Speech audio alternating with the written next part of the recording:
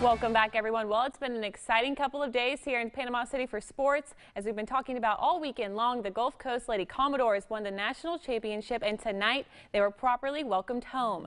The bus ride from Texas was 20 hours long. They got on the road right after the win yesterday and stopped in Louisiana last night before making it back to Panama City around 6.30.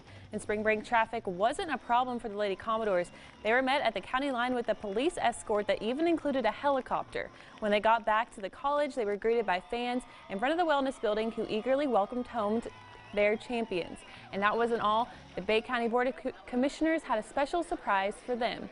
Therefore, let it be proclaimed Bay County Board of County Commissioners officially proclaims the week of March 24th through March 31st, 2019 as Lady Commodores Week.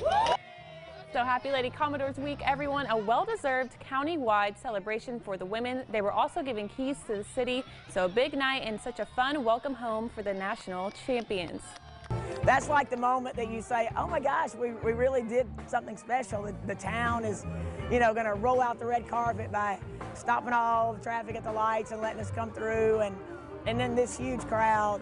These kids, you know, I don't think they realized until they saw it what they had really accomplished and what it means to everybody else. It feels so good.